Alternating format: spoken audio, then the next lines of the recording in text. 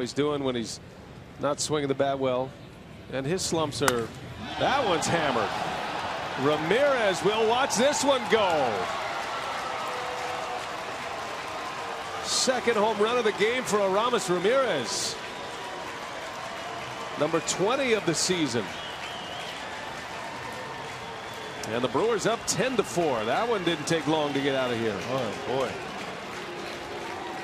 Hinshaw making some mistakes and making some mistakes with fastballs and the Brewers all over it. Ramirez with his third hit of the game gives him four runs batted in. And neither one of those home runs took very long to get out of here.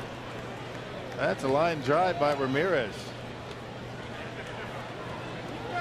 He's got 20.